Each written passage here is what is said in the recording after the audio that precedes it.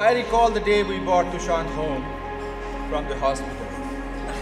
Nursing home. Like it was- Nursing home. like it was yesterday.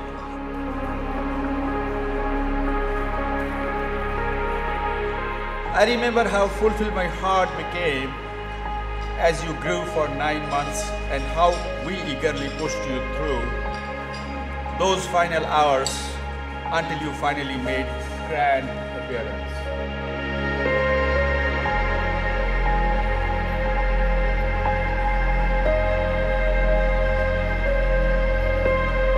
I always thought this moment would come for me first and Lien second. That's because I was proposed to first, right? Good job, honey. Oh, this is my fiance, by the way. He's very gutsy.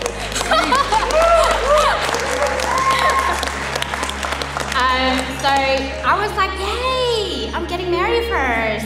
Um, insert evil laugh. That evil laugh vanished after Tushant proposed to Lien on Christmas Day last year, um, being so extra as always. Um, and here we are eight months later.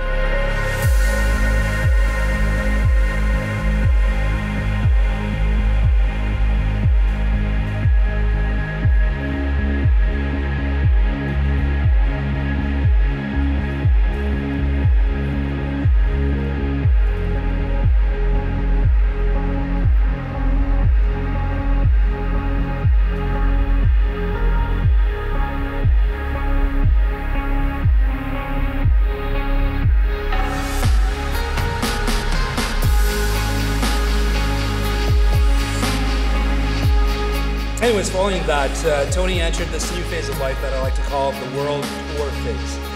You know, he had the opportunity to travel the world, and that's that's where you know it was kind of funny because I would see him only on an annual basis. Like every year he would go, I'd see him for a couple of year, uh, you know, a couple of days in a year, and that's when I started to notice the growth in Tony. You know, every every time he would return, he would be wiser, more mature, more worldly, and every subsequent visit, we would talk about our futures, our goals, our dreams, and aspirations. And that's the first time I actually heard your name.